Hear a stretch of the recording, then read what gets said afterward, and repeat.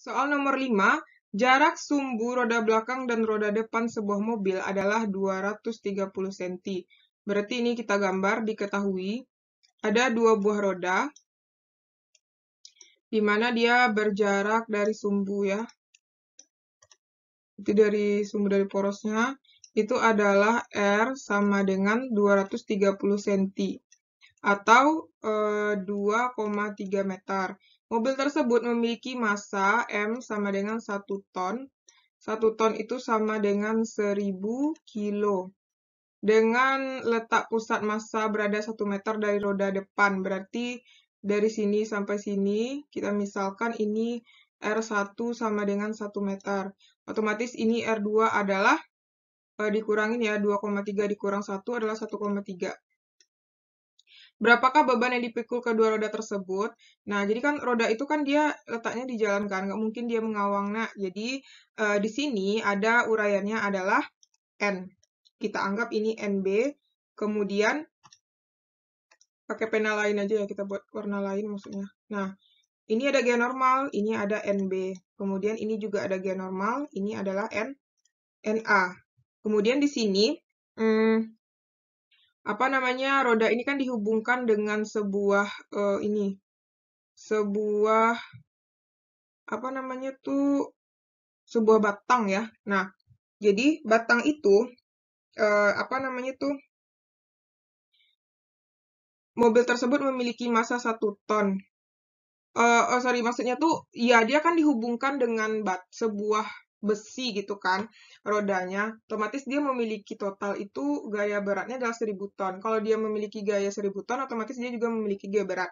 Di mana gaya beratnya itu uh, dia katanya ini letak pusat massa. Nah, pusat massanya berarti di jarak 1 meter dari uh, ban pertama kan. Otomatis di sini W-nya. Nah, jadi sekarang uh, kita pilih salah satu. Jika misalnya si NB kita jadikan poros, berarti semuanya kita putar ke uh, NB ya. Jadi ini uh, si apa si W ini tandanya adalah positif. Kemudian si NA ini kalau diputar ke NB itu tandanya adalah negatif.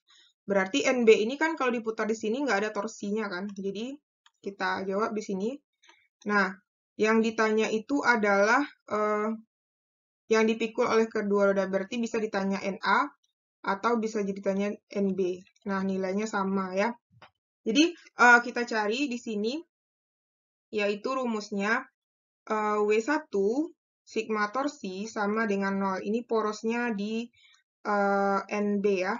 Nah, berarti W kali uh, R RW dikurang NA dikali RA sama dengan 0. W kita kan 1000, berarti 1000 dikali 10 kan? Berarti W kita adalah M kali G. Berarti jadinya 1000 dikali 10 yaitu 10 ribu. Berarti di sini W kita 10.000 dikali RW.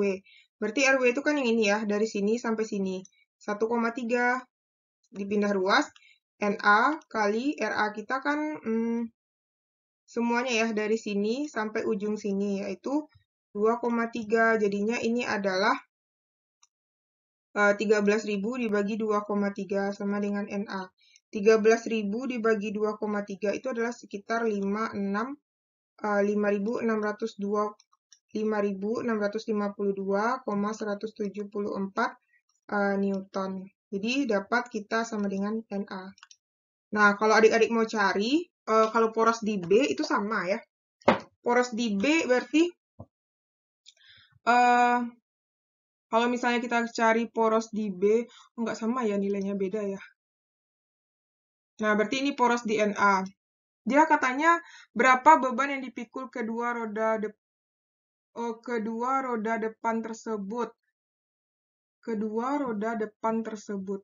Uh, berarti yang ditanya Nah, jadi ini kan uh, dapat NA-nya segini nih.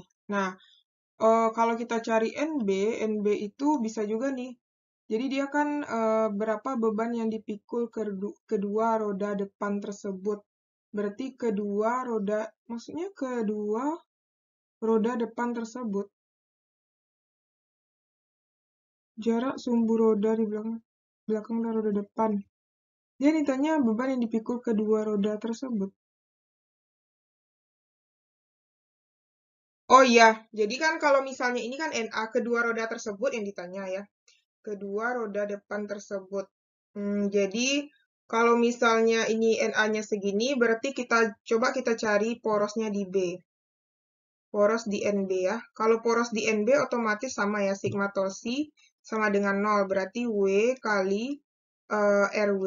Nah, ini sekarang NA kita jadikan poros ya. Uh, eh, kok NB lagi? Porosnya di NA. Berarti semuanya diputar ke ke NA ya.